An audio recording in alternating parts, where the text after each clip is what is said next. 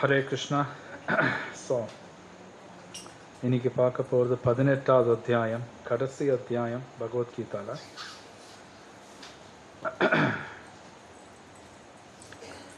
So திருப்பி சொல்லுங்க ஓம் நமோ பகவதே வாசுதேவாய ஓம் நமோ பகவதே வாசுதேவாய ॐ नमो भगवते वासुदेवाय। नारायणं नमस्कृत्य। नरं चैवं नरोत्तमं देवीं सरस्वतीं व्यासं ततो जयामुधिरये नष्टप्रायेषु अभद्रेषु नित्यं भागवत सेवया भगवती वाकपतसेवया भगवति उत्तमश्लोके भक्तिर्भवति नैष्टिकी पदिनेट्टावदध्यायं मोदल श्लोकम्। अर्जुन उवाच। सन्न्यास्य सन्न्यासस्य महाबाहो। तत्त्वमिच्छामि वेदितुम्। त्यागस्य च ऋषिकेश। पृथक्केशिनिषूदन अर्जुन उवाच। सन्न्यासस्य महाबाहो। तत्त्वमिच्छामि व्यथितुम्। त्यागस्य च ऋषिकेश। पृथक्केशिनिषूदन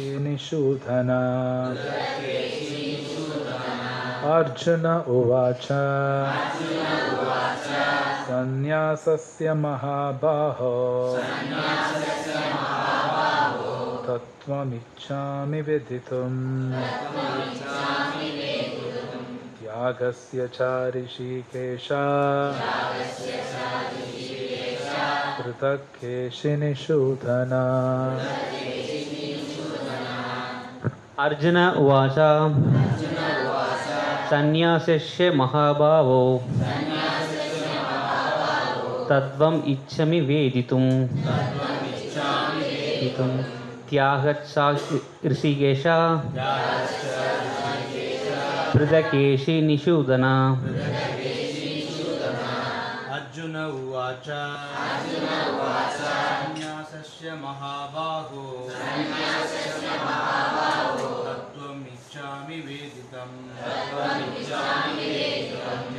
च ऋषिकेश। केसि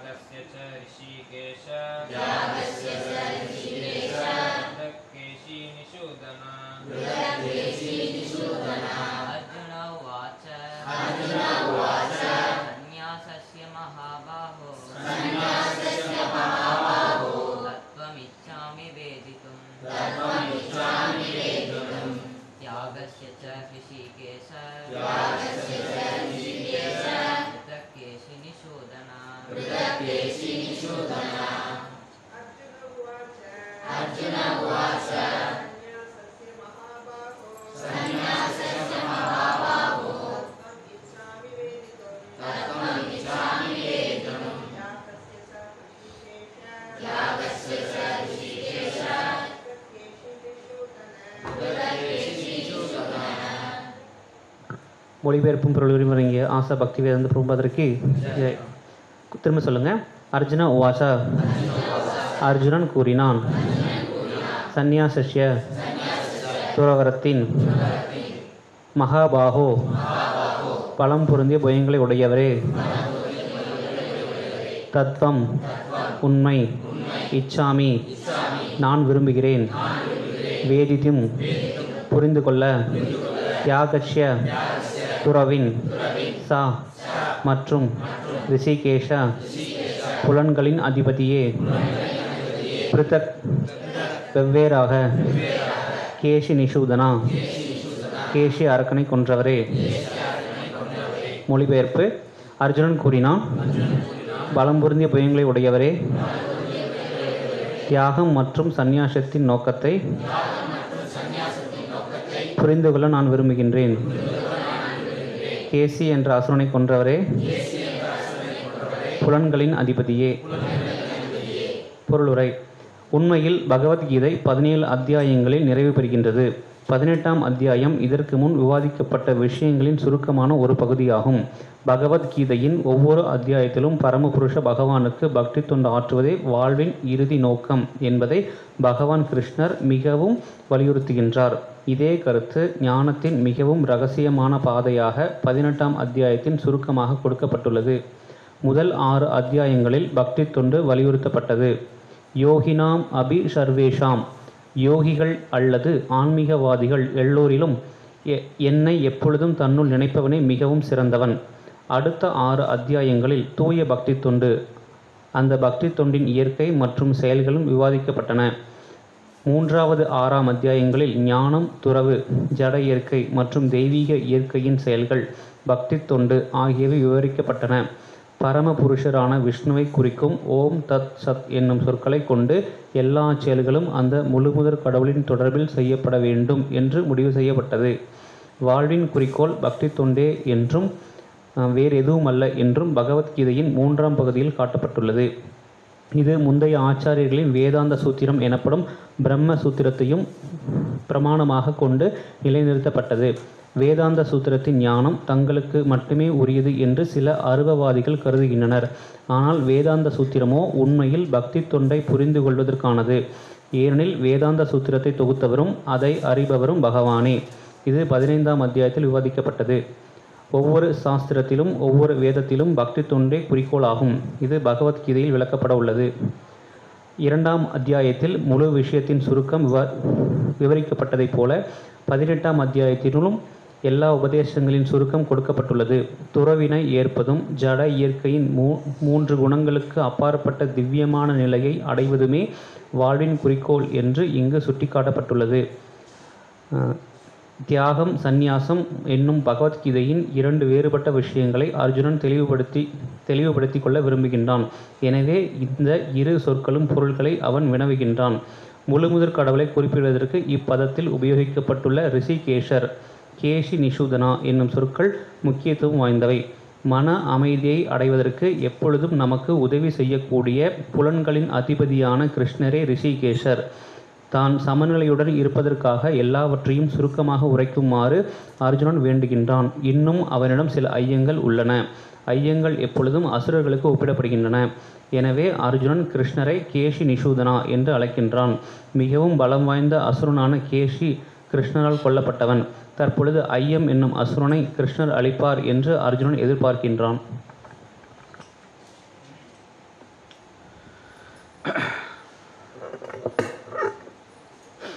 अर्जुनवाच सन्न्यासस्य महाबाहो तत्त्वमिच्छामि वेदितुं त्यागस्य च ऋषिकेश पृथक्केशनिशोधना तत्सत् ओमज्ञानतिमिरान्तस्य ज्ञानाञ्जनशलाकया चक्षुर्मिलितं येन तस्मै श्रीगुरवे नमः।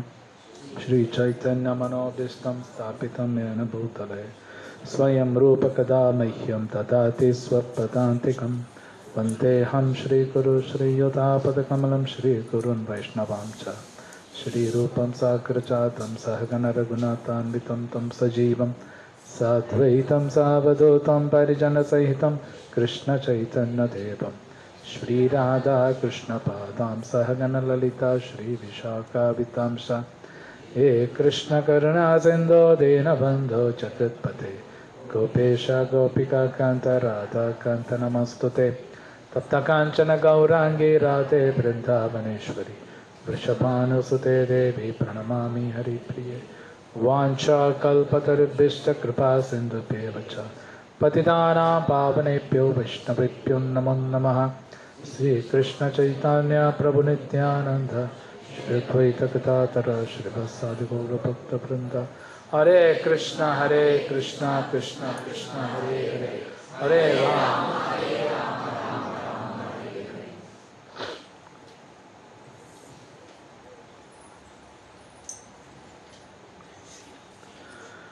Hare Krishna. So.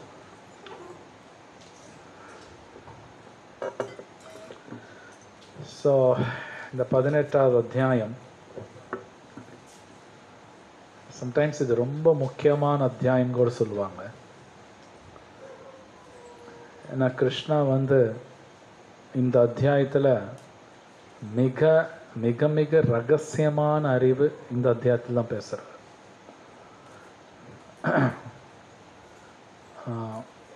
குஹ்யம் குஹ்யதமம் குஹ்யதரம். இந்த மூணு வார்த்தை கிருஷ்ணர் யூஸ் பண்ணுறார் பகவத்கீதை லாஸ்ட் சாப்டரில் குஹ்யம்னா கான்ஃபிடென்ஷியல் கான்ஃபிடென்ஷியல்னா ரகசியம். குஹ்யதரம்னா மோர் கான்ஃபிடென்ஷியல் அதாவது ரொம்ப ரக மிக ரகசியமாக குஹ்யதமம்னா மிக மிக ரகசியமானது. கிருஷ்ணா அப்படி தான் யூஸ் பண்ணுறார் ஸோ ரொம்ப ரொம்ப ரகசியமான விஷயங்கள் எயிட்டீன்த் சாப்டரில் இருக்குது அஃப்கோர்ஸ் நைன்த்து சாப்டர்லையும் இருக்குது அதான் எயிட்டீன் சாப்டர் மறுபடியும் அதே விஷயம் தான் பேசுகிறார் ஸோ சில அது ரொம்ப அழகாக கொடுக்குறார். ஆக்சுவலி பகவத்கீதா பதினேழு அத்தியாயத்திலே முடிஞ்சது. பதினெட்டாவது அத்தியாயம் வந்து ஒரு சம்மரி மாதிரி. முன்னாடி சொன்ன விஷயங்கள் மறுபடியும் வரும். பட் சேம் டைம் முன்னாடி சொன்னபடி ரகசியமான விஷயங்கள் பேச போகிறார்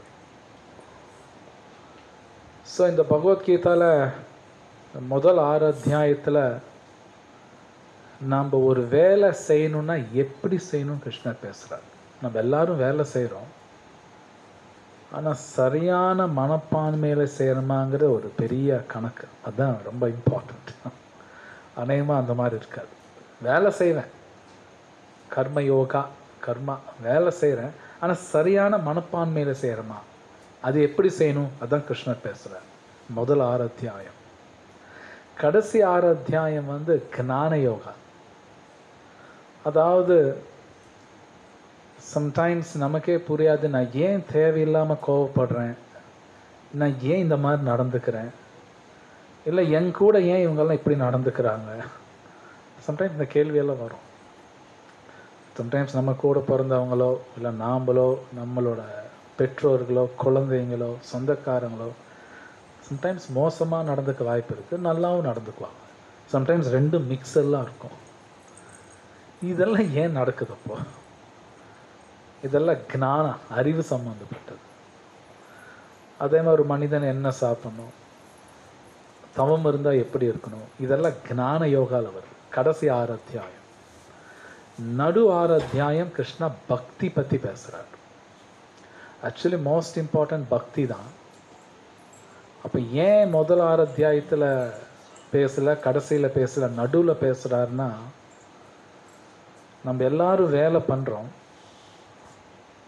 அந்த வேலை வந்து கிருஷ்ண பக்தி கனெக்ட் ஆகலைன்னு வைங்க. நான் செய்கிற வேலை கிருஷ்ணா கனெக்ட் ஆகலைன்னா அந்த வேலை வந்து ஜீரோ மாதிரி இருக்கும். ஒரு பயன் கிடையாது. முதல் ஆறு அத்தியாயம் கர்மயோகா நடுவில் தான் பக்தி யோகா. ஸோ ரெண்டும் கனெக்ட் ஆகுது. கடைசி ஆறு அத்தியாயம் ஞான யோகா ஒருத்தர் நிறைய அறிவு இருக்குது ஆனால் கிருஷ்ணாக்கு யூஸ் பண்ணலைன்னா அந்த அறிவு ஜீரோ அதனால தான் நடுவில் பேசுகிறார் கிருஷ்ணா பக்தி பற்றி ஸோ இந்த பக்கம் ஜானாவும் கனெக்ட் ஆகுது இந்த பக்கம் கர்மாவும் கனெக்ட் ஆகுது. அப்போது ஒருத்தர் என்னதான் வேலை செஞ்சாலும் பகவானுக்கு பற்றி அறிவில்லை. அந்த நான் செய்யக்கூடிய காரியம் பகவானை கனெக்ட் ஆகலைன்னா ஜீரோ ஒருத்தர் நோபல் பரிசு வாங்குறாங்க. உலகத்திலே பெரிய அறிவாளின்னு சொல்லுவாங்க. ஆனால் அவனுக்கு கிருஷ்ணர் மேலே பகவான் மேலே நம்பிக்கை இல்லை பக்தி இல்லைன்னா அந்த நோபல் பரிசு எதுக்கும் வேலைக்காகாது. இந்த உலகம் பெரிய ஆளுன்னு சொல்லலாம். யம தர்மராஜ் வேற மாதிரி கணக்கு போடுவார். ஓகே. அவன் பெரிய அறிவாளி அப்படிலாம். அவங்க அந்த மாதிரி கணக்கு போட மாட்டான். ஏன்னா அந்த அறிவுக்கு பயன் கிடையாது. ஜஸ்ட் லைக் நான் ஒரு பங்களா கட்டுறேன்னு வைங்க. நூறு கோடி ரூபா போட்டு பங்களா கட்டுறாங்க. உள்ள அழகான டெக்கரேஷன்ஸ் லைட்டு அது இது பயங்கரமாக வைக்கிறாங்க. ஆனால் கரண்ட் இல்லைன்னு வைங்க. வச்சுட்டு என்ன பண்ணுறது என்ன? ஏசி ஒர்க் ஆகாது ஃப்ரிட்ஜ் ஒர்க் ஆகாது ஒரு லைட்டும் ஒர்க் ஆகாது. ஏன்னா கரண்ட் வேணும். கரண்ட் இருந்தால் தான் எல்லாமே ஒர்க் ஆகும் அழகாக இருக்கும். அது மாதிரி நல்லா வேலை செய்வேன். அறிவு இருக்குது ஆனால் பகவான் யாரும் தெரியாது. கிருஷ்ணா யாரும் தெரியாது பக்தி பண்ண தெரியாதுன்னா எல்லாமே ஜீரோ ஆயிடும் ஸோ அதனால கிருஷ்ணா பக்தி நடுவில் பேசுகிறார் இட்ஸ் வெரி இம்பார்ட்டன்ட் இன்னொன்று என்டையர் பகவத்கீதையில் பார்க்கலாம். ஒரு ஒரு அத்தியாயத்திலையும் கிருஷ்ணா வந்து இருக்கிலே சிறந்தவன் பக்தன் தான் சொல்லிக்கிட்டே வருவார். இருக்கலே அவன் தான் யோகினாம் அப்பி சர்வேஷாம் எல்லா யோகியிலும் இந்த பெஸ்ட் யோகி கிருஷ்ணர் சொல்கிற அர்ஜுனா என் பக்தன் தான் அர்ஜுனாங்கிறார். ஸோ பக்தினா ஏதோ சென்டிமெண்ட் நினைக்க வேணாம். ஏதோ சும்மா கோயிலுக்கு போகிறாங்க வராங்க ஏதோ ஒரு வாழைப்பழமோ தேங்காய் உடச்சி சாப்பிட்றாங்க. அப்படி கிடையாது. பக்தன் அப்படின்னாலே எல்லா காரியங்களும் பகவான் என்ன சொல்கிறாரோ அது மாதிரி செய்கிறது சொல்லப்போனால் இன்றைக்கி உலகத்தில் கடவுள் அப்படின்னு எப்படி சொல்லி தர்றாங்கன்னா நம்ம என்ன கேட்டாலும் அவர் கொடுப்பாரு. அவர் தான் கடவுள். அப்படி தான் சொல்லி தருவாங்க பொதுவாக ஆனால் பக்தர்கள் எப்படி சொல்லி தருவாங்கன்னா கடவுளுக்கு என்ன வேணுமோ நாம் அவருக்கு கொடுக்கணும் அப்படிம்பாங்க. அதுதான் கரெக்ட் அதான் கரெக்ட் எனக்கு வேணுங்கிறது கொடுக்கறது கடவுள். கொடுக்க முடியும். அதை காட்டிலும் கடவுளுக்கு என்ன வேணுமோ நாம் கொடுக்கணும். அதுதான் சிறந்தது. அர்ஜுனர் அந்த முடிவில் தான் எடுக்கிறார் பகவத்கீதை கடைசியில் அவர் கிருஷ்ணருக்கு என்ன வேணுமோ அதை அவர் பண்ணுறார் ஆனால் பொதுவாக நாம்பெல்லாம் வந்து நமக்கு என்ன வேணுமோ கடவுள் பண்ணணும்னு எதிர்பார்ப்போம். நம்ம அப்படி தான் இருப்போம். எனக்கு இது வேணும் நீங்கள் கொடுங்க. அப்போ தான் நீங்கள் கடவுள். ஆனால் அது இல்லை. பட் ஆக்சுவலி கடவுளுக்கு என்ன வேணுமோ நாம் கொடுக்கறது. இது ஆச்சாரியாஸ் வந்து டீச் பண்ணுறான் கடைசி அத்தியாயத்தில் அதுதான் வரப்போகுது. அவருக்கு என்ன வேணுமோ நாம் கொடுக்கறது. ஸோ இன்னைக்கு பார்க்குற ஸ்லோகத்தில் ரெண்டு வார்த்தைகள் அர்ஜுனர் கேட்குறார். தியாகா சந்நியாசா. சந்நியாசம் அப்படின்னு நம்ம பல தடவை கேட்டிருப்போம். அதே மாதிரி தியாகம்.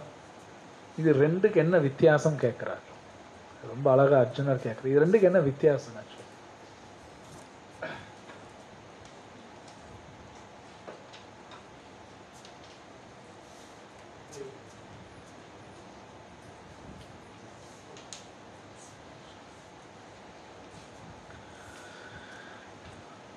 ஸோ இது ரெண்டுக்கு வித்தியாசம் சொல்லுங்க. ஏன்னா சம்டைம்ஸ் தியாகத்துக்கும் சந்நியாசம் ரெண்டு பேர் சில பேர் ஒரே மாதிரி நினச்சிக்குவாங்க. ஆனால் ஒன்றும் கிடையாது. வித்தியாசம் இருக்கு. அந்த வித்தியாசம் கிருஷ்ணர் என்ன சொல்கிறாரோ அது பார்ப்போம். இந்த ஸ்லோகத்தில் பார்த்தீங்கன்னா கேஷி நிஷூதனாங்கிறார் அர்ஜுனர். கேஷி நிஷூதனானா சந்தேகத்தை கொல்றவர் அப்படிங்கிறார். பிரபுபாத் மீனிங் எழுதுறார். ஆக்சுவலி நம்ம வாழ்க்கையில் சந்தேகமெல்லாம் வரக்கூடாது. வரும் ஆனால் வராமலாம் இருக்காது. அந்த வர சந்தேகங்கள் உடனே தீர்த்தணுமாமா அது இருக்க விடக்கூடாது. விடவே கூடாது. நீங்கள் பகவத்கீதையில் அர்ஜுனர் கிருஷ்ணர் பார்த்து மதுசூதனரே கேஷினி சூதனா கோவிந்தா ஏன்னோ மாதிரி பல வார்த்தைகள் வச்சு கூப்பிடுவார். ஏன்னா பகவானால் மட்டும்தான் நம்ம சந்தேகத்தை கிளியர் பண்ண முடியும். நமக்கு நிறையா சந்தேகங்கள் இருக்குது அதனால பதட்டமெல்லாம் வரும் லைஃப்பில் பயம் ஒருத்தனுக்கு ஏன் வருதுன்னா அவன் லைஃப்பில் நிறைய சந்தேகம் இருக்குன்னு அர்த்தம். சந்தேகம் இருந்தாலே பயம் வந்துடும் எப்படி நடக்குமோ அப்படியா இப்படியா? அது இருக்கக்கூடாது. ஆனால் யார் ஒருத்தர் பகவான் கிருஷ்ணத்தை பக்தி பண்ணலையோ அவன் லைஃப் பூரா சந்தேகமாக தான் இருக்கும்.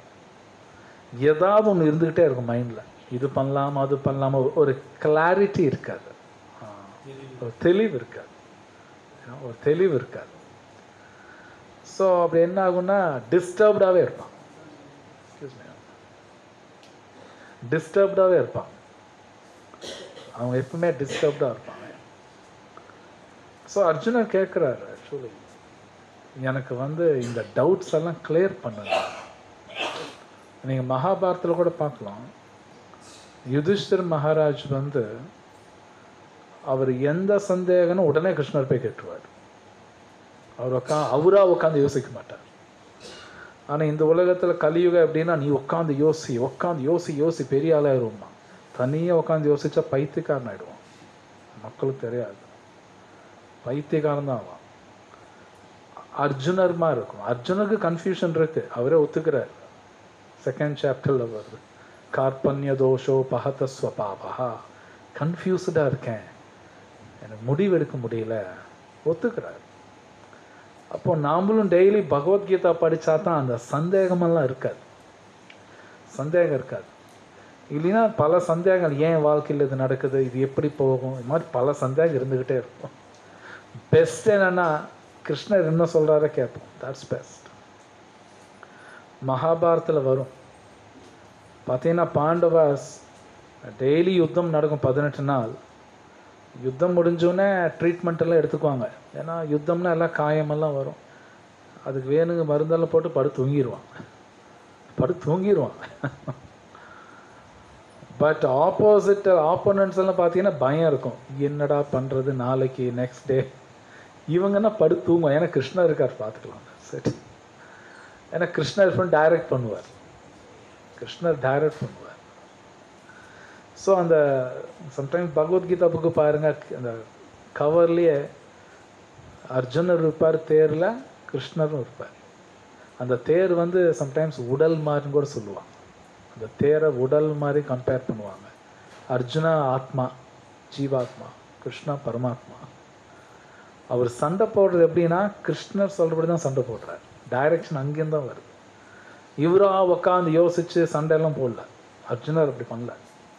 எல்லாமே கிருஷ்ணரோட கைடன்ஸ் தான் பண்ணுறார் கம்ப்ளீட் இன்ஃபேக்ட் சொல்லப்போனால் நம்ம வாழ்க்கையில் எல்லா விஷயங்களும் பகவானோட கைடன்ஸில் தான் பண்ணணும். நாம் அது மாதிரி பண்ணுறது இல்லை அதனால தான் பிரச்சனை. வேற ஒன்றும் இல்லை. நிறைய காரியம் ஈவன் சாப்பிட்றோமா அதுவும் பகவானோட கைடன்ஸில் தான் சாப்பிடணும். என் இஷ்டத்துக்கெல்லாம் சாப்பிடக்கூடாது. எதாவது சாப்பிட்ணுன்னா பகவான் கைடன்ஸ் இருக்கணும். அது சாப்பிடலாமா சாப்பிடக்கூடாதா? பகவான் கைடன்ஸ் வேணும். எனக்கு பிடிச்சிருக்குன்னு சொல்ல எடுக்கக்கூடாது. நோ அது ஒத்துக்கல சாஸ்திரம். ஸோ இங்கே அர்ஜுனரோட கேள்வி வெரி இம்பார்ட்டண்ட் காரணம் என்னென்னா இந்த சந்நியாசம் அப்படிங்கிறது ரொம்ப முக்கியம். இந்த உலகத்தில் எல்லாருமே அந்த சந்நியாசங்கிற ஆட்டிடியூட் அந்த மனப்பான்மை எல்லாரும் வளர்த்தே ஆகணும். மஸ்ட் ஆணோ பெண்ணோ இங்கே சந்நியாசம்னா தயவுசெய்து காவி போட்டு வீட்டு விட்டு வெளியே போயிடலாம் அப்படின்னு நினைக்க வேணாம். அது ஒரு காலத்தில் பண்ணியிருக்காங்க. இது கலியுகம். இது இப்போ நம்ம பண்ண முடியாது நம்மனால். ஆனால் இந்த மனப்பான்மை வேணும். விட்டு கொடுக்கணும். தியாகம் பண்ணி ஆகணும். இதெல்லாம் மஸ்ட் இது பண்ணலைன்னா ரொம்ப பிரச்சனை வந்துடும் நமக்கு. கண்டிப்பாக ப்ராப்ளம் வரும். ஏன்னா சாஸ்திரத்தில் இருக்குது ஒரு வயசுக்கு அப்புறம் நீ எல்லாம் போதும்னு சொல்லி ஆகணும். நீ மரணத்துக்கு ப்ரிப்பேர் ஆகணும்பாங்க அது ப்ரிப்பேர் ஆகணும். எப்படி ஒரு இருபத்தஞ்சு வயசுக்கு அப்புறம் நல்லா பணம் சம்பாதிக்கிறதுக்கு அஞ்சு வயசுலேருந்தே ப்ரிப்பேர் ஆகிறான். இப்போல்லாம் ரெண்டு வயசுலேருந்தே ப்ரிப்பேர் ஆகிறான் இல்லையா? ரெண்டு வயசு மூணு வயசு ஸ்கூலில் போட்டுருவான். அவன் இருபத்தஞ்சு வயசில் பணம் சம்பாதிக்கிறதுக்கு ரெண்டு வயசுலேருந்து ப்ரிப்பேர் ஆகுறான். இல்லையா? அது மாதிரி நெக்ஸ்ட்டு ஜென்மாக்கு இந்த ஜென்மா தான் ப்ரிப்பரேஷன் அப்படித்தான். அதே மாதிரி ஐம்பது வயசுக்கு அப்புறம் ரிட்டையர்ட் லைஃப் நல்லா இருக்குன்னா இருபத்தஞ்சு வயசுலேருந்து சம்பாதிச்சு சேமிப்பான். எல்லாமே அப்படி தான் இருக்கும் சேம் வே நெக்ஸ்ட் ஜென்மாவோட ப்ரிப்பரேஷன் இந்த லைஃப் நம்ம போன ஜென்மத்திலே இந்த இந்த ஜென்மத்தோட ப்ரிப்பரேஷன் பண்ணியிருக்கோம். இல்லாமல் கிடையாது. அதோட ரிசல்ட்ஸ் எல்லாம் இப்போ தான் பார்ப்போம் ஸோ அங்கே அர்ஜுனர் கேட்குற கேள்வி வெரி இம்பார்ட்டன்ட் சந்நியாசம் தியாகம் வித்தியாசம் என்ன? இது கண்டிப்பாக பண்ணணுமா? என்ன? ஸோ கிருஷ்ணரோட பதில்கள் பார்க்கலாம். அதில் ஸ்ரீ பகவான் வாச்சா காமியானம் கர்மணாம் நியாசம் சந்நியாசம் கவயோ விதுஹு சர்வ கர்ம ஃபலத்தியாகம் பிராகுத்தியாகம் விசக்ஷனா. புருஷோத்தமரான முழுவதற் கடவுள் கூறினார் ஜட ஆசைகளை அடிப்படையாக கொண்ட செயல்களை துரத்தல் சந்நியாசம் என்று சான்றோர்களால் அழைக்கப்படுகின்றது. மேலும் எல்லா செயல்களின் பலன்களை துறப்பதை தியாகம் என்று அறிஞர்கள் அழைக்கின்றனர். பொருளுரை பலன்களை எதிர்பார்த்து செய்யப்படும் செயல்கள் கைவிடப்பட வேண்டும். இதுவே பகவத்கீதையின் உபதேசம். ஆனால் முன்னேறிய ஆன்மீக ஞான ஞானத்திற்கு வழிகாட்டக்கூடிய செயல்களை துறக்கக்கூடாது. இது பின்வரும் பதங்களில் தெளிவாக்கப்படும். குறிப்பிட்ட நோக்கத்துடன் யாகங்கள் செய்வதற்கான வழிமுறை வேத இலக்கியங்களில் கொடுக்கப்பட்டுள்ளன. நல்ல மகனை பெறுவதற்காக அல்லது உயர் கிரகங்களுக்கு ஏற்றம் பெறுவதற்காக சில குறிப்பிட்ட யாகங்கள் உள்ளன. ஆனால் ஆசைகளால் தூண்டப்பட்ட யாகங்கள் நிறுத்தப்பட வேண்டும். இருப்பினும் இதயத்தை தூய்மைப்படுத்துவதற்கான அல்லது ஆன்மீக விஞ்ஞானத்தில் முன்னேற்றம் பெறுவதற்கான யாகங்களை நிச்சயமாக துறக்கக்கூடாது. ஸோ இது கிருஷ்ணர் சொல்கிற பியூட்டிஃபுல் எக்ஸ்ப்ளனேஷன் சந்நியாசத்துக்கும் தியாகத்துக்கும் அஹ், சந்நியாசம்னா என்ன? கிவிங் அப் ஆக்டிவிட்டீஸ் என்ன? ஜட ஆசைகளை அடிப்படையாக கொண்ட செயல்களை துரத்தல். ஜட ஆசை அடிப்படையாக கொண்ட செயல்களை துரத்தல். ஸோ நீங்கள் பகவத்கீதால ரொம்ப ஃபேமஸ் ஸ்லோகா. கர்மண்யவாதிகாரசே மா ஃபலேஷு கதாச்சனா. நிறைய பேர் சொல்லுவாங்க இது. கடமை செய் பலன் எதிர்பார்க்காத.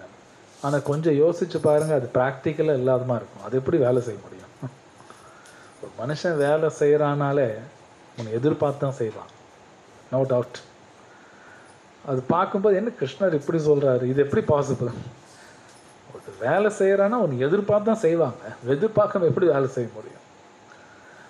அதுக்கு ரொம்ப அழகாக எக்ஸ்பிளனேஷன் இருக்கு. கிருஷ்ணர் என்ன சொல்கிறாருன்னா ஒர்க் பண்ண. பலனை எதிர்பார்க்காத அப்படின்னா பௌதீக பலனை எதிர்பார்க்காதங்கிறார். அதுதான் மீனிங் ஆன்மீக பலனை எதிர்பார்க்கலாம். அது தப்பெல்லாம் கிடையாது. ஏன் பௌதீக பலன் எதிர்பார்க்க வேண்டாம் அப்படின்னு சொல்கிறாருன்னா நான் பௌதீக பலன் எதிர்பார்த்தாலே நான் கண்டிப்பாக புலனின்பத்துக்குள்ளே போயிடுவேன். அது டேஞ்சருங்கிறார் கிருஷ்ணா. நான் ஒன்று என்ஜாய் பண்ணணும் அப்படின்னு நினச்சாலே அடி வாங்குவேன். நான் புலனின்பம் பண்ணணும்னு நினச்சாலே பாகவத்தில் ரொம்ப ஸ்ட்ரிக்டாக பேசுகிறாங்க நான் புலனின்பம் அனுபவிக்கணும்னு நினச்சாலே அடி வாங்கிடுவேன் அடி நிச்சயங்கிறாங்க. சின்னதாக பண்ணால் சின்னதாக விழுகும் பெருசாக பண்ணால் பெருசாக விழுகும். கம்ப்ளீட்டாக ஜீரோன்னு சொல்கிறாங்க பாகவத்தில் அப்படியே கொடுக்குறாங்க. மேபி இந்த ஸ்டேட்மெண்ட்ஸ் நிறைய பேர் பிடிக்காது. அது எப்படிங்க அப்படி வாழ்கிறது அப்படின்னா அப்படி தான் வாழ்ந்தாகணும். ஏன்னா டிசைன் இந்த உலகத்தோட டிசைன் அப்படித்தான் இருக்கு. டிசைன் அப்படித்தான் இருக்குது ஐ திங்க் போன வாரங்க டிஸ்கஸ் பண்ணிட்டு இருந்தோம். இப்போது ஸ்வீட் பொதுவாக எல்லாருக்கும் பிடிக்கலாம். ஆனால் பிடிக்குது பிடிக்குது இஷ்டத்துக்கு சாப்பிட்டேன்னு வைங்க அப்போ நான் அதுக்கு அனுபவிச்சு தான் ஆகணும். ஏதாவது வியாதி வந்துடும் காரம் சில பேர் பிடிக்கும். பிடிக்கிறது நிறைய காரம் சாப்பிட்டா மறுபடியும் பிரச்சனை வரும். கண்டிப்பாக வரும். அப்படின்னா ஒரு அளவு தான் அதுக்கு மேலே எடுக்கக்கூடாது. ஏன்னா டிசைன் அது மாதிரி.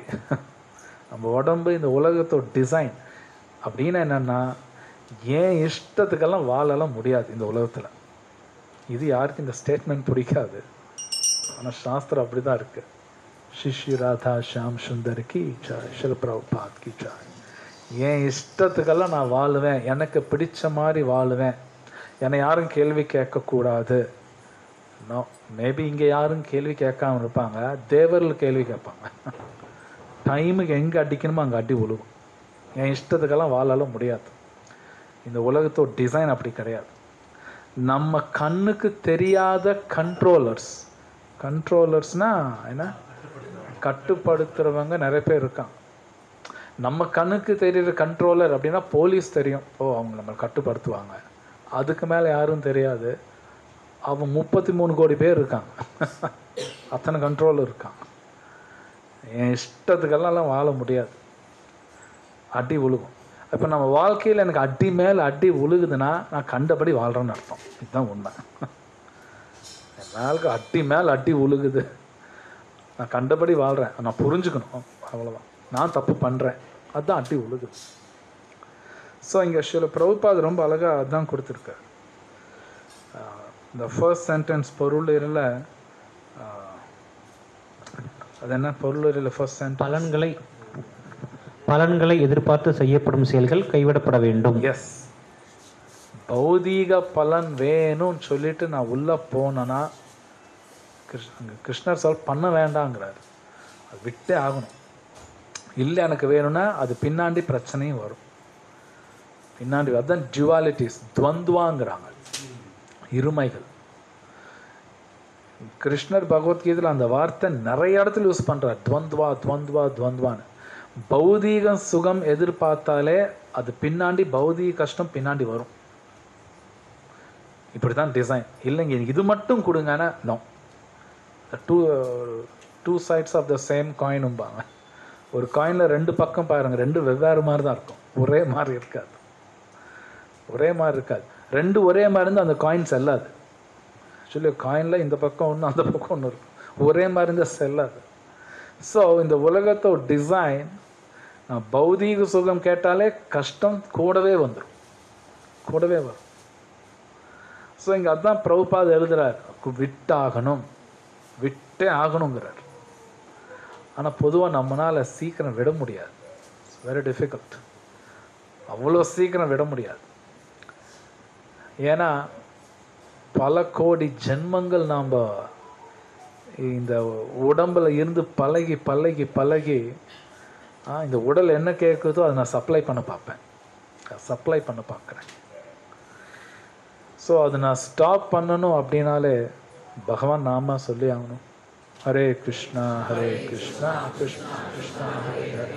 ஹரே ராம் ஹரே ராம் ஹரே ஹரே. ஆ, அதே மாதிரி இந்த பொருளுரையில் மேல் உலகத்துக்கு போகணும்னு சொல்லி சில யாகங்கள் பண்ணுறாங்க அதுவும் ஸ்டாப் பண்ணுங்கிற. சில பேர் யாகம் பண்ணுவாங்க. இந்த யாகம் பண்ணால் ஹெல்த் நல்லாயிருக்கும் இந்த யாகம் பண்ணால் காசு கொட்டும்.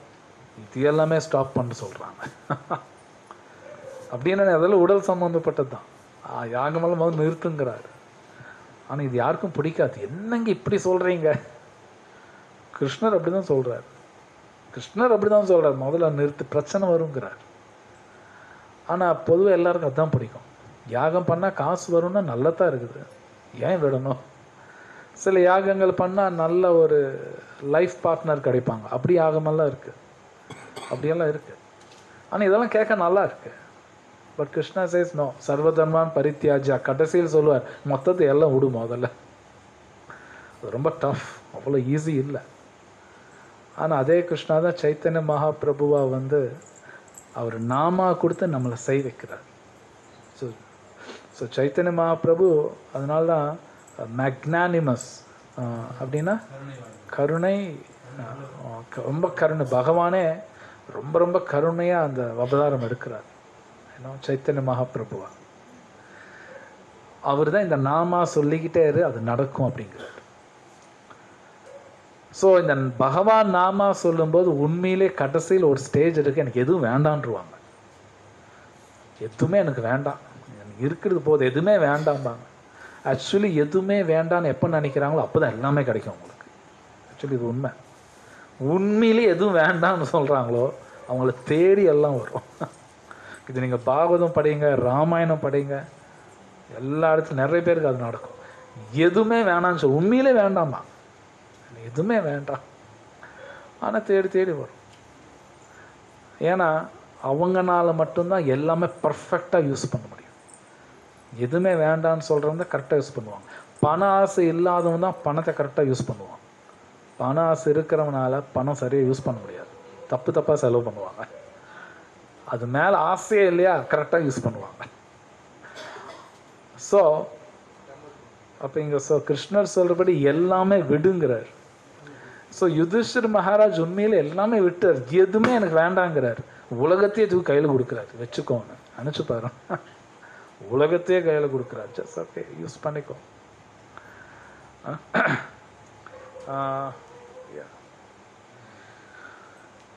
நெக்ஸ்ட் ஸ்லோக பார்க்கலாம் தியாஜ்யம் தோஷவதித்தேகே கர்ம பிராகுர் மனிஷினா யக்னதான தப கர்மான நத்தியாஜம் இதி சாபரே எல்லா விதமான பலநோக்கு செயல்களையும் தோஷமாக எண்ணி அவற்றை துறக்க வேண்டும் என்று சில அறிஞர்கள் அறிவிக்கின்றனர்.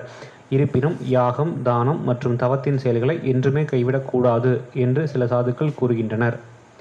வேத பொருளுரை வேத இலக்கியங்களில் சர்ச்சைக்குரிய பற்பல செயல்கள் இருக்கின்றன. உதாரணமாக யாகத்தில் ஒரு மிருகம் கொல்லப்படலாம் என்று கூறப்பட்டுள்ளது.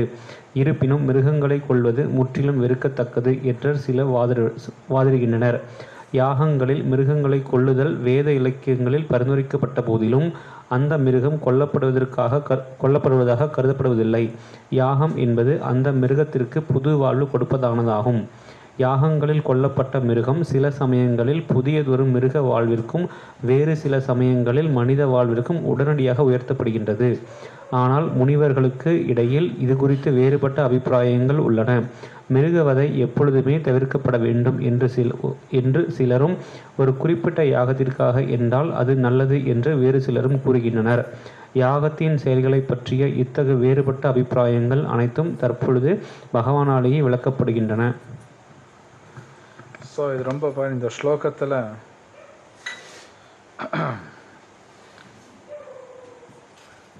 மனிஷினஹா கிருஷ்ணரே சொல்கிறார் ரிஷிகளுக்கு பல ஒப்பீனியன்ஸ் இருக்கு அப்படின்னு ரெண்டு ஒப்பீனியன் கொடுக்குறார். சில ரிஷிகள் சொல்றாங்க யக்னா தானா தவம். இந்த மூணு விடவே கூடாது அப்படின்னு சில பேர் சொல்கிறாங்க சில ரிஷிகள் அந்த ஃபர்ஸ்ட் சென்டென்ஸ் என்ன? டிரான்ஸ்லேஷன் செயல்களையும் தோஷமாக எண்ணி அவற்றை துறக்க வேண்டும். யா ஸோ இது என்னன்னா சம்டைம்ஸ் நம்ம வீட்டிலே பாருங்க அஞ்சு பேர் இருக்காங்கன்னா ஒரு ஒருத்தர் ஒரு ஒப்பீனியன் இருக்கும். வீட்டுக்குள்ளே அஞ்சு பேர் இருந்தால் ஒரு ஒருத்தர் ஒரு ஒப்பீனியன் இருக்கும். இது செய்யலாம் அப்படி செய்யலாம். இது ரிஷிகளுக்கும் இருக்கு. நமக்கு மட்டும் கிடையாது. நமக்கு மேலே இருக்க ரிஷிகளுக்கும் பார்த்தீங்கன்னா ஒப்பீனியன்ஸ் ஒரு ஒருத்தருக்கு ஒரு ஒப்பீனியன் இருக்கும். ஸோ கிருஷ்ணர் சொல்கிறார் ரிஷிகள்லாம் இப்படி சொல்கிறாங்க பட் என்னோட ஒப்பீனியன் கேளு அப்படிங்கிறார். ஸோ அதில் ஒரு உதாரணம் பார்த்தீங்கன்னா அனிமல் கில்லிங் தமிழ் என்ன அனிமல் கில்லிங்னா இந்த இந்த பலி இடுறது. பார்த்தீங்கன்னா சில பேர் சொல்லணும் இல்லை பலி இடணும். எங்கள் தாத்தாவோட தாத்தாவோட தாத்தாவோட எல்லாம் பண்ணுறாங்க நாங்களும் பண்ணுவோம். சில பேர் பலியே கொடுக்கக்கூடாது பட் ஆக்சுவலி வேதத்தில் பலி கொடுக்கறத பற்றி இருக்குது இல்லாமல் கிடையாது. இல்லாமலாம் கிடையாது. ஆனால் அதே வேதம் என்ன சொல்கிறதுன்னா கலியுகத்தில் பண்ணாதுன்னு சொல்கிறாங்க அதுவும் ஸ்லோகமாக இருக்கு. கலியுகத்தில் பலியெல்லாம் கொடுக்கக்கூடாது ஏன் கொடுக்க வேணாம் அப்படின்னு சொல்கிறாங்கன்னா ஆக்சுவலி ஒரு காலத்தில் பலி கொடுப்பாங்க. ஆனால் அந்த பலி கொடுக்கக்கூடிய பிராமணாஸ் மந்திரங்கள் சொல்லுவாங்க பிராமணர்கள். அவங்க ரொம்ப பவர்ஃபுல் அந்த மந்திரம் சொன்னாங்கன்னா பலி கொடுப்பாங்க. அந்த அந்த அனிமல் அந்த மிருகத்துக்குள்ள இருக்கிற ஆத்மாவுக்கு அடுத்த உடல் மனுஷ உடலாக கிடச்சிடும். அந்த மாதிரி பண்ணுவாங்க. ட்ரான்ஸ்ஃபர் பண்ணுவாங்க. சொல்லப்போனால் மந்திரம் ஒர்க் ஆகுதா இல்லையாருக்கு தான் அந்த பலியெல்லாம் கொடுப்பாங்க. வேற எதுக்கும் கிடையாது. அவங்க எதுக்கு பலி கொடுக்குறாங்கன்னா மந்திரம் ஒர்க் ஆகுதா இல்லையா? அது செக் பண்ணுவாங்க. ஸோ ஒரு ஏதாவது ஒரு மிருகத்தை வந்து நெருப்பில் போடுவாங்க அப்படியே. போட்டோன்னே அது வெளி வரும்போது வேற உடல் எடுத்து வரும். அந்த மாதிரிலாம் வரும். ஸோ பட் இன்னைக்கு அந்த மாதிரி ஆட்கள்லாம் கிடையாது. அந்த மாதிரி மந்திரம் சொல்கிற ஆட்கள் இன்றைக்கி கிடையாது. கலியுகத்தில் கிடையாது. அதனால் சாஸ்திரத்தில் என்ன சொல்கிறாங்கன்னா கலியுகத்தில் பண்ண வேணாம். பலியே கொடுக்க வேணாம். கொடுத்தா பிரச்சனை வரும். அந்த கொடுக்குறவங்களுக்கு பிரச்சனை வரும் சாப்பிட்றவங்களுக்கு பிரச்சனை வரும் பல பேர்த்துக்கு பிரச்சனை வரும். அதெல்லாம் நோ டவுட் ஸோ இங்கே பிரபுபாத் தான் எழுதுகிறார் சில ரிஷிகள் கொடுக்கலாங்கிறாங்க சில பேர் கொடுக்க வேணாங்கிறாங்க. பட் ஆக்சுவலி ஃபைனல் ஒப்பீனியன் சாஸ்திரத்தில் இருக்கு. சந்நியாசம் கவாலம்பம் பல பைத்திருக்கம் அப்படின்னு சிலதெல்லாம் பண்ணக்கூடாது. தேவரன சுத்தோத்பத்தி அப்படின்னு அப்படின்னா பல பைத்திருக்கம் அப்படின்னாலே பலி கொடுத்து அதை சாப்பிட வேணாம் அப்படின்னு ஸ்லோகம் இருக்குது சாப்பிட்டா பிரச்சனை வரும். ஸோ இந்த பலியெல்லாம் கொடுக்க வேணாம்னு சொல்லியிருக்காங்க. பட் கிருஷ்ணர் என்ன சொல்ல போகிறாருன்னு வரப்போகிற ஸ்லோகத்தில் வரும். ஃபோர்த் ஸ்லோகம் நிச்சயம் சுருணுமே தத்ர தியாகே பாரத சத்தமா தியாகோ ஹி புருஷ வியாக்ர திரிவித சம்பிரகீர்த்ததா. மொழிபெயர்ப்பு. பாரதர்களில் சிறந்தவனே தியாகத்தை பற்றிய எனது முடிவை தற்பொழுது கேள். மனிதர்களில் புலி போன்றவனே சாஸ்திரங்களில் மூன்று விதமான தியாகம் அறிவிக்கப்பட்டுள்ளன. பொருளுரை தியாகத்தை பற்றிய வேறுபட்ட அபிப்பிராயங்கள் உள்ள போதிலும் பரமபுருஷ பகவானான ஸ்ரீகிருஷ்ணர் இங்கு தனது தீர்ப்பை வழங்குகின்றார். இஃது இறுதியானதாக ஏற்றுக்கொள்ளப்பட வேண்டும். வேதங்கள் இறைவனால் அளிக்கப்பட்ட பல்வேறு சட்டங்களே ஆகும். இங்கு இறைவன் தாமே வீற்றுள்ளார். மேலும் அவரது வார்த்தை இறுதியானதாக ஏற்றுக்கொள்ளப்பட வேண்டும். தியாகத்தின் முறைகள் ஜட இயற்கையின் எத்தகு குணத்தில் அவை செய்யப்படுகின்றன என்பதை பொறுத்து கருதப்பட வேண்டும் என்று இங்கு இறைவன் கூறுகின்றார். ஸோ இங்கே கிருஷ்ணர் சொல்கிறாரு அவரோட ஃபைனல் ஜட்ஜ்மெண்ட் அவரோட ஒப்பீனியன் ஆனால் அதுதான் ஃபைனலாக எடுத்துக்கணும். ஸோ நம்டைம்ஸ் நமக்கும் வாழ்க்கையில் பல விதமான சிந்தனைகள் இருக்கலாம் ஒப்பீனியன்ஸும் இருக்கும். ஆனால் கிருஷ்ணர் என்ன சொல்கிறாரோ அதுதான் ஃபைனலாக எடுத்துக்கணும். அதுதான் புத்திசாலித்தனம். சில சமயம் கிருஷ்ணர் சொல்கிறது நமக்கு பிடிக்காம இருக்கலாம். இருந்தாலும் அதான் எடுத்துக்கணும். இல்லை இல்லை பகவான் கிருஷ்ணர் சொல்கிற எனக்கு பிடிக்கல. இது நான் ஏற்றுக்க மாட்டேன். இது நான் கடைபிடிக்கலை அப்படின்னா பிரச்சனை எனக்கு தான் வரும். எனக்கு தான் வரும். கிருஷ்ணர் சொல்கிறாரு ஃபைனல் ஜஸ்ட் லைக் பொதுவாக டாக்டர் சொல்கிறது யாருக்குமே பிடிக்காது. எந்த பேஷண்ட்டுக்கும் அது பிடிக்குமா? டாக்டர் சொல்கிறது ஒருத்தனுக்கும் பிடிக்காது. ஆனால் கடைபிடிக்கிறோம். ஏன்னா அது பண்ணால் தான் நல்லது. பண்ணால் தான் நல்லது. அவர் என் நல்லதுக்கு தான் சொல்கிறார் அது மாதிரி கிருஷ்ணர் என்ன சொல்கிறாரோ அதான் ஃபைனலாக எடுத்துக்கோ. ஸோ அவர் இப்போ சொல்ல போகிறார் என்னோட ஒப்பீனியன் கொடுக்குறேன். அதில் பாருங்கள் மூணு விதமான சந்நியாசங்கிறார் இல்லையா? சாரி தியாகம். ஓகே இது இங்கிலீஷில் எல்லாமே ரினன்சியேஷன் வருது. தியாகம். போன அத்தியாயத்துலையும் பார்த்தோம் எல்லாமே மூணு விதம். சத்வா ரஜா தமா. எல்லாமே இருக்கும். மூணு பேசிக்காக மூணு இருக்கும். அப்புறம் மூணு ஒன்பது ஆகும். ஒன்பது எண்பத்தொன்னா மாறும். ஏன்னா எல்லாம் காம்பினேஷனாக இருக்கும். ஸோ கிருஷ்ணர் சொல்ல போகிறார் இதில் மூணு விதமான தியாகங்கள் இருக்குது ஸோ அஞ்சாவது ஸ்லோகா யக்னதான தபக்கர்மா நத்தியாஜ்யம் காரியமேவ தத் யக்னோதானம் தபஸ்சைவ பாவனானி மனிஷினாம். மொழிபெயர்ப்பு யாகம் தானம் மற்றும் தவத்தின் செயல்களை என்றுமே துறக்கக்கூடாது. அவற்றை செய்ய வேண்டியது அவசியம். உண்மையில் யாகம் தானம் தவம் ஆகியவை மிகச்சிறந்த ஆத்மாக்களையும் கூட தூய்மைப்படுத்துகின்றன. பொருளுரை யோகிகள் மனித சமுதாயத்தின் முன்னேற்றத்திற்காக செயல்பட வேண்டும். மனிதனை ஆன்மீக வாழ்விற்கு முன்னேற்றுவதற்கு பற்பல தூய்மைப்படுத்தும் சடங்குகள் இருக்கின்றன. உதாரணமாக திருமண விழா இத்தகு யாகங்களில் ஒன்றாக கருதப்படுகின்றன. அது விவாக யக்ஞா என்று அழைக்கப்படுகின்றது. தனது குடும்ப உறவுகளை துறந்து துறவற வாழ்வு வாழும் வாழ்ந்து வரும் ஒரு சந்நியாசி திருமண வாழ்வை திரும் திருமண விழாவை உற்சாகப்படுத்தலாமா? மனிதனின் நன்மைக்காக எந்த ஒரு யாகமும் துறக்கப்படக்கூடாது என்று இங்கு இறைவன் கூறுகின்றார். விவாக யக்ஞா என்னும் திருமண விழா மனிதனின் மனதை நெறிப்படுத்தி ஆன்மீக முன்னேற்றத்திற்காக அம்மனதினை அமைதிப்படுத்துவதற்காக ஏற்பட்டது. இந்த திருமண வாழ்வு பெரும்பாலான மனிதர்களுக்கு சந்நியாசிகளாலும் கூட உற்சாகப்படுத்தப்பட வேண்டும். சந்நியாசிகள் பெண்களுடன் ஒருபொழுதும் உறவு கொள்ளக்கூடாது. ஆனால் வாழ்வின் ஆரம்ப நிலையிலுள்ள ஒரு இளைஞன் திருமணச் சடங்கின் மூலம் மனைவியை ஏற்கக்கூடாது என்பது அதன் பொருள் அல்ல பரிந்துரைக்கப்பட்டுள்ள யாகங்கள் அனைத்தும் பரமபுருஷரை அடைவதற்காகவே. எனவே ஆரம்ப நிலைகளில் இவற்றை துறக்கக்கூடாது. அதுபோல தானம் கொடுப்பது இதயத்தை தூய்மைப்படுத்துவதற்கானது தகுதியானவர்களுக்கு தானம் கொடுத்தல் முன்பே விளக்கப்பட்டுள்ளபடி அது ஒருவனை ஆன்மீக வாழ்வில் முன்னேற்றமடைய செய்யும். ஸோ கிருஷ்ணரே சொல்கிறார் யக்னா தானா தப்பா. இது பலதோட கேட்டிருப்போம். யாகம் பண்ணுறது தானம் தவம். இந்த மூணு யாருமே விடக்கூடாதுங்கிறார். எல்லாருமே சந்நியாசியாக இருந்தாலும் சரி இல்லை பிரம்மச்சாரியாக இருந்தாலும் சரி எல்லாரும் யாகம் பண்ணணும் தானம் பண்ணணும் தவம் பண்ணணும். ஸோ ஆக்சுவலி ஒரு ரூல் என்னென்னா பொதுவாக சந்நியாசிகள் வந்து கல்யாணத்துக்கெல்லாம் போக மாட்டான் பொதுவாக சன்னியாசிகள் வந்து கல்யாணத்துக்கு போக மாட்டாங்க நடத்த மாட்டாங்க.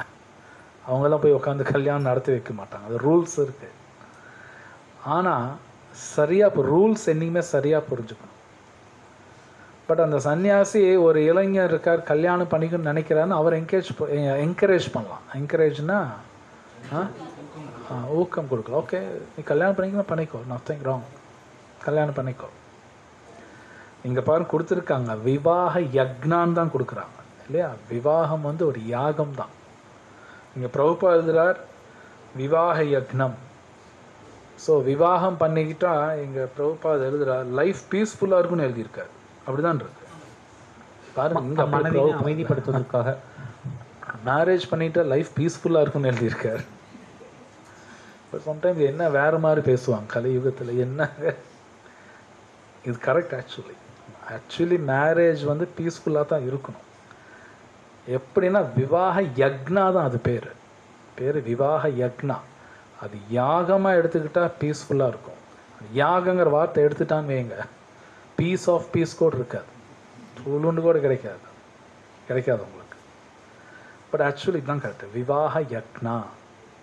அதுக்கு ரூல்ஸ் இருக்குது பலதோடு கேட்டிருப்பீங்க. விவாகத்தில் நிறைய ரூல்ஸ் இருக்குது அந்த ரூல்ஸ் பிரேக் பண்ணும்போது என்ன ஆகும்னா அந்த அமைதிங்கிறது போயிடும் ஆனால் ஆச்சாரியாஸ் கொடுக்குறாங்க.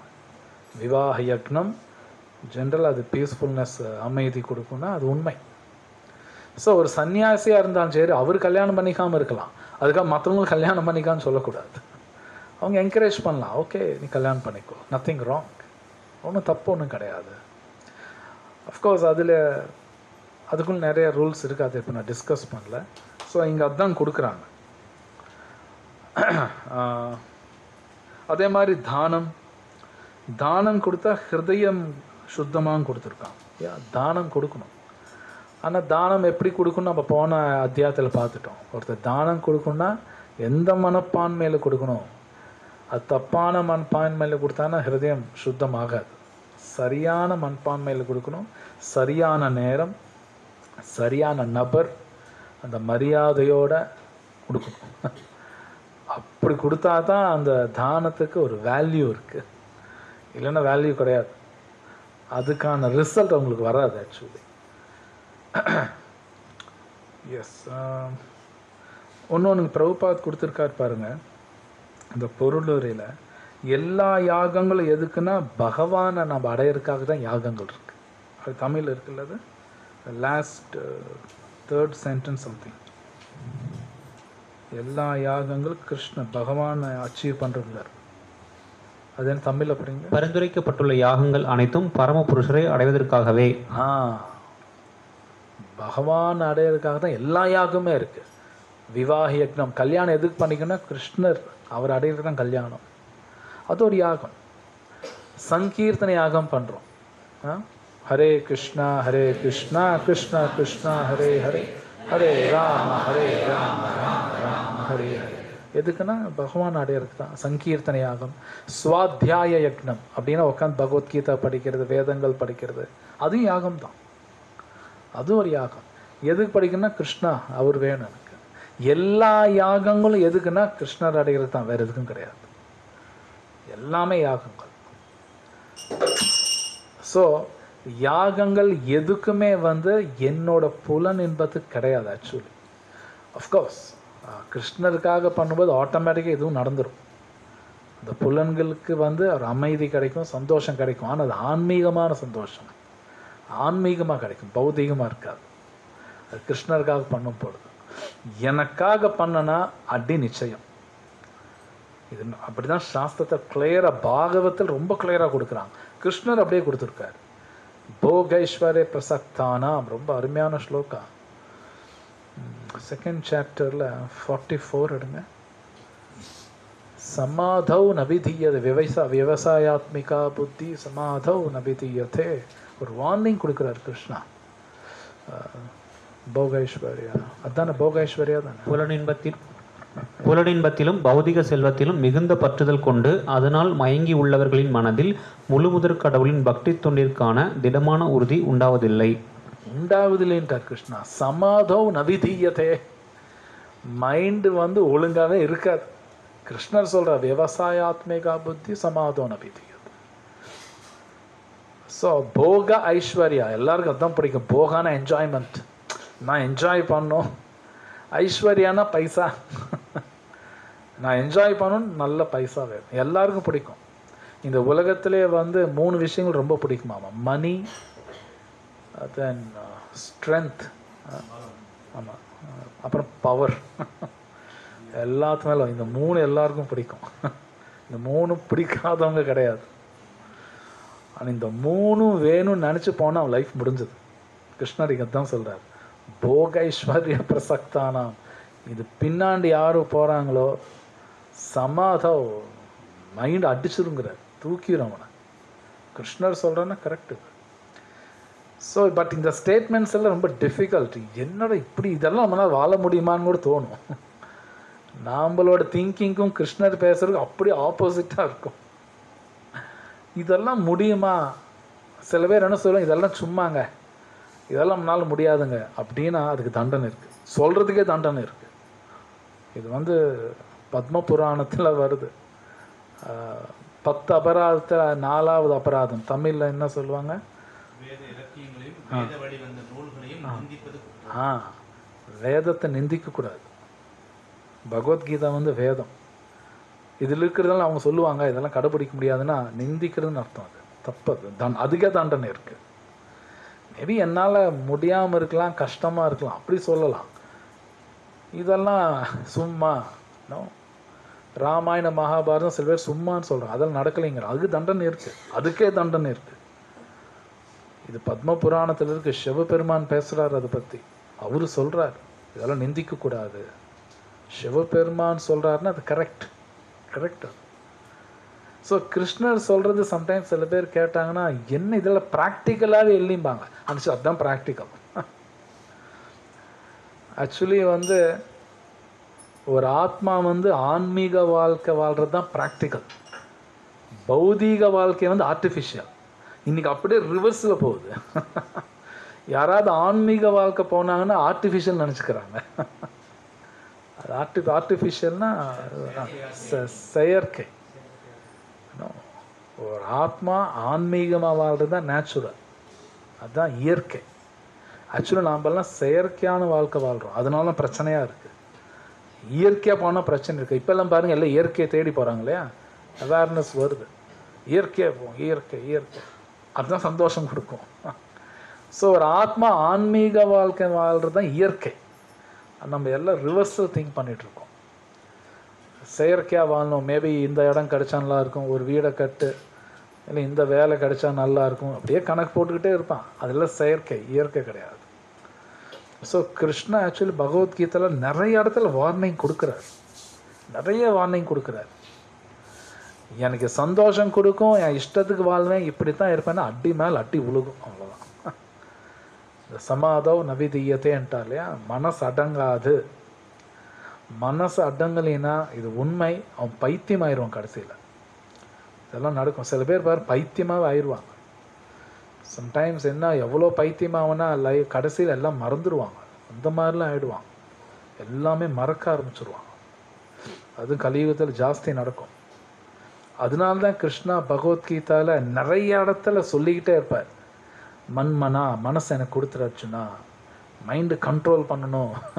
மையர் பிதா மனோ புத்திர் நிறைய இடத்துல கிருஷ்ணர் சொல்கிறார் ஏன்னா பிரச்சனை கொடுக்குங்கிறார் பகவான் சொல்கிறார் ஸோ அப்போது இந்த சாஸ்திரத்தை நான் வந்து சந்தேகப்படக்கூடாது. சந்தேகப்பட்ட என்ன ஆகும்னா கிருஷ்ணர் சொல்கிறார் வினசதிங்கிறார். சம்சயாத்மா வினசதி. சம்சயானா சந்தேகப்படுறது. சம்சய ஆத்மா எந்த ஆத்மா இதை சந்தேகப்படுதோ அவன் லைஃப் முடிஞ்சது அர்ஜுனாங்கிறார் கணேஷ் அது மட்டும் இல்லை சுகமும் கிடைக்காது. ஏன்னா சுகம் இல்லை ஒன்றுமே இல்லை. ஸோ பகவத்கீதா நூற்றுக்கு நூறு உண்மை. நூற்றுக்கு நூறு. இது நான் கடைப்பிடிச்சே ஆகணும். கொஞ்சம் கஷ்டமாக தான் இருக்கும். கொஞ்சம் இல்லை ரொம்பவே கஷ்டமாக தான் இருக்கும். ஆனால் கிருஷ்ணவரோட நாம சொல்ல சொல்ல ஈஸியாக மாறும். இது பகவான் கருணையில் அது மாறும். அவரோட கருணையில் எல்லாமே ஈஸியாக மாறும். இது வந்து இப்படி அர்ஜுனர் சொல்கிறாரோ துவத் பிரசாதாத் மயச்சுதா. உங்கள் கருணையில் தான் இப்போ நான் தெளிவாக இருக்கேங்கிறார் அர்ஜுனா. கட்டசையில் சொல்கிறார் இப்போ நமக்கெல்லாம் கன்ஃபியூஷன்ஸ் நிறையா இருக்குது பட் டெய்லி ஹரிநாமா சொல்லும்போது தெளிவாயிடும். அர்ஜுனருக்கு நடந்து நமக்கும் நடக்கும். நோ டவுட் சம்டைம்ஸ் சில பேர் சொல்லுவாங்க அந்த டாக்டர்கிட்ட போங்க நல்லா பார்ப்பாரு நான் அவர்கிட்ட தான் போனேன். சரி ஆயிடுச்சு அவர் எக்ஸ்பீரியன்ஸ் சொல்கிறாரு ஸோ மேபி நான் போனேன் எனக்கும் சரி ஆகிடும் அர்ஜுனருக்கு ஆச்சுன்னா நமக்கும் ஆகும். அர்ஜுனர் சொல்கிற அத்வக் பிரசாதாத் மயச்சுத்தா உங்கள் கருணையில் சரியாயிடுச்சு. நமக்கும் ஆகும். ஆனால் என்னென்னா அர்ஜுனர் பண்ண மாதிரி நானும் பண்ணணும். அவர் எடுத்த மாதிரி முடிவு நான் எடுக்கணும். சேம் அதே மாதிரி எடுக்கணும். ஸோ சில பிரபுபாத் எல்லா ஆச்சாரியாஸும் சொல்கிறாங்க இந்த பகவான் கிருஷ்ணரோட நாமா சொல்லணும் பகவத்கீதா படிக்கணும். பகவான் கிருஷ்ணரோட பிரசாதம் மட்டும்தான் சாப்பிடணுங்கிறார். பகவத்கீதை நிறைய இடத்துல வரும். அவருக்கு என்ன படைக்கிறோமோ அது மட்டும் சாப்பிடணும். இல்லை வேற யாராவது சாப்பிட்டோன்னா அதுக்கு தகுந்த பிரச்சனை வந்தே தீரும். ஹரே கிருஷ்ணா ஓம் தத் சத். இங்கே ஸ்டாப் பண்ணுறேன் ஏதாவது கேள்வி இருந்தால் கேளுங்க. அஞ்சு ஸ்லோகம் பார்த்தோம் ஏதாவது கேள்வி இருந்தால் கேட்கலாம். ஆ. சாஸ்திரத்தில் அப்படிதான் இருக்கு. அப்படிதான் அது விவாக யக்னா நேமே வருது. ஆமாம் ஆ வெல் விவாகம் பண்ணும்போது ரெண்டு பேரும் ஹஸ்பண்ட் ஒய்ஃப் கிருஷ்ணரோட திருப்திக்காக இவங்களோடதெல்லாம் சாக்ரிஃபைஸ் பண்ணுவாங்க. இவங்க ரெண்டு பேரும் சேர்ந்து கிருஷ்ணர் திருப்திப்படுத்துறதுக்காக தே ஹாவ் டு சாக்ரிஃபைஸ் அவங்க இஷ்டத்துக்கு வாழாமல் பகவான் இஷ்டத்துக்கு அவங்க பகவான் இஷ்டத்துக்கு வாழ்வாங்க. த சாக்ரிஃபைஸ் அது. த சாக்ரிஃபைஸ் எஸ் ஆமாம் கண்டிப்பாக அந்த ஃபயர்ஸ் அந்த ஃபயர் இந்த யக்னா பண்ணுறதெல்லாம் வந்து இருக்குது பட் அதுக்கப்புறம் லைஃபே வந்து சாக்ரிஃபைஸ் தான். சாக்ரிஃபைஸ் மேரிட் லைஃப் வந்து ஆக்சுவலி சாக்ரிஃபைஸ் தான். தட்ஸ் ஃபார் கிருஷ்ணருக்காக. எஸ் இது எல்லாருக்கும் தெரியும் general common sense sometimes uh, ஆணும் அந்த கணவனோ மனைவியோ அவங்களுக்கு பிடிச்ச மாதிரி இவங்க வாழ்வாங்க. இட்ஸ் சாக்ரிஃபைஸ் பட் என்னென்ன மோஸ்ட் இம்பார்ட்டன்ட் இவங்க ரெண்டு பேர் சேர்ந்து கிருஷ்ணருக்கு என்ன பிடிக்குமோ செய்யணும். தட்ஸ் அ பிக்கஸ்ட் சாக்ரிஃபைஸ் அதுதான் விவாக யக்னான்னு எழுதியிருக்காங்க. ஏ அந்த இடத்துல அக்னி வந்து ரெப்ரசன்டேட்டிவ் ஆஃப் கிருஷ்ணா. ஒன்னொன்று மேரேஜில் வந்து ஜென்ரலி கிருஷ்ணரை அக்னி ரூபத்தில் இன்வைட் பண்ணுவாங்க. ஆ. பார்க்குறக்கு அக்னிமா இருக்கும். பட் ஆக்சுவலி மந்த்ராஸ் சில பேர் மந்த்ராஸ் வச்சு கிருஷ்ணர் இன்வைட் பண்ணுவாங்க. ஸோ அதான் அக்னி சாட்சியாக கல்யாணம் பண்ணேன். பட் ஆக்சுவலி கிருஷ்ணர் சாட்சியா. ஸோ கிருஷ்ணர் சாட்சி அங்கே பிராமணர்கள் சாட்சி பெரியவங்க சாட்சி தேவர்கள் சாட்சி இத்தனை பேர் முன்னாடி நான் ப்ராமிஸ் பண்ணுறேன் நான் விட மாட்டேன். பார்த்துக்குவேன். ரெண்டு பேர் ப்ராமிஸ் பண்ணுறேன் so big sacrifice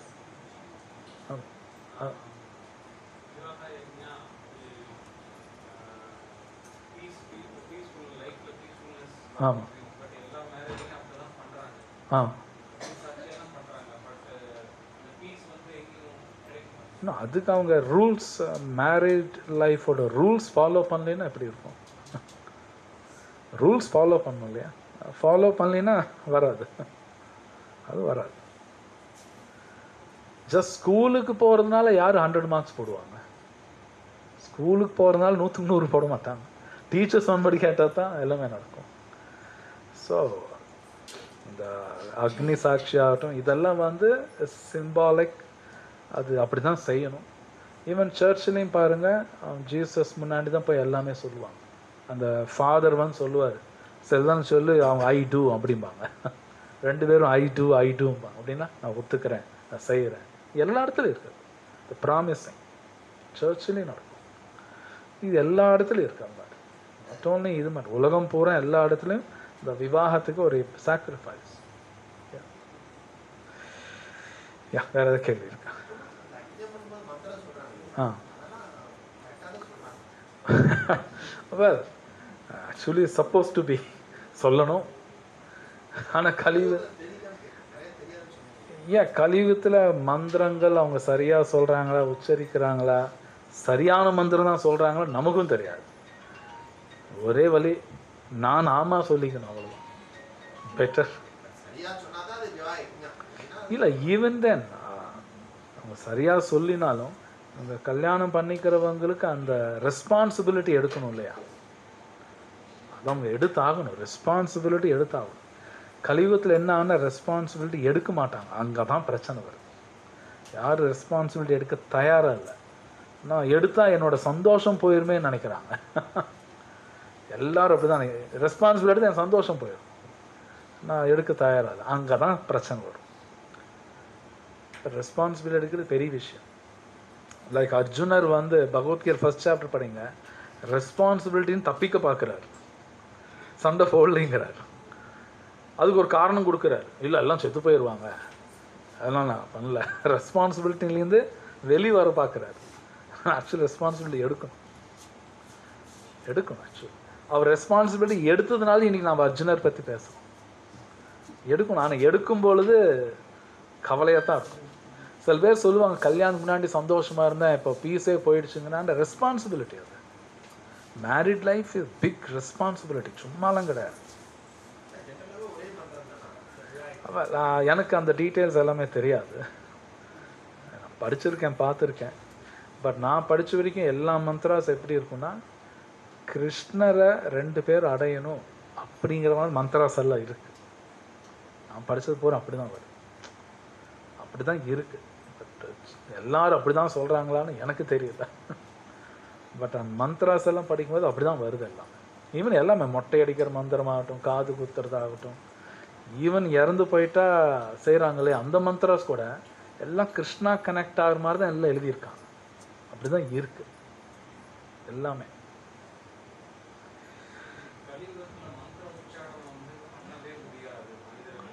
ah. Yeah not easy C அது வந்து அஃப்கோர்ஸ் இதெல்லாம் இருக்கு நான் இல்லைன்னு சொல்ல மாட்டேன். அது ரொம்ப டிஃபிகல்ட் கஷ்டம்தான். ஏன்னா சத்வகுணத்திலே இருக்கிறது ரொம்ப கஷ்டம். அதனால தான் கிருஷ்ணா அவரோட நாமத்தை கொடுத்துட்டார். சேன் பண்ணிக்கோ நாமா சொல்லிக்கோ. சில பேர் கல்யாணம் பண்ணிக்கிறாங்க. அவர் ஒழுங்காக சொல்கிறாரோ தெரியாது. நான் ஹரே கிருஷ்ணா சொல்லிகிட்டு இருக்க வேண்டியதான் மேரேஜ் டைமில் தட்ஸ் அ பெஸ்ட் வேறு வழி இல்லை. அவங்க ஒழுங்காக சொல்கிறாரு நமக்கு தெரியாது. பெட்டர் நான் சேன் பண்ணிக்க வேண்டியதான் நாமா சொல்லிக்கோ தட்ஸ் அ பியூரிஃபிகேஷன் ஏன்னா நாம அதெல்லாம் நடக்கும். ஏன்? அப்போ இருக்காது. நாம இருக்கும். நாம இருக்கும். ஈவன் எல்லாமே மெடிசன்ஸ் எல்லாமே நீங்கள் பார்த்தீங்கன்னா பழசெல்லாம் படிச்ச மாதிரி தான் ம மருந்து தயார் பண்ணும்போது பகவான் நாமா சொல்லுவாங்க. அதெல்லாம் ஆயுர்வேதத்தில் இருக்கு. மருந்து தயாரும் போது ஹரே கிருஷ்ணா சொல்லுவாங்க. ராமநாமா விஷ்ணு சஹஸ்ரநாமம் சொல்லுவாங்க. இதெல்லாம் ட்ரூ ஈவன் டெலிவரி ஆகும்போது கூட விஷ்ணு சஹஸ்ரநாமம் சொல்லுவாங்க. அதெல்லாம் உண்மை. அதெல்லாம் இருக்கு ஆக்சுவலாக யா வேற ஏதாவது கேள்வி இருக்குங்களா வேற ஜென்ரல் கொஷின்ஸ் ஏதாவது ग्रंथराज श्रीमद् भगवत गीता की जय शिल प्रभुपाद की जय गौ प्रेमानंद ओम तत्सत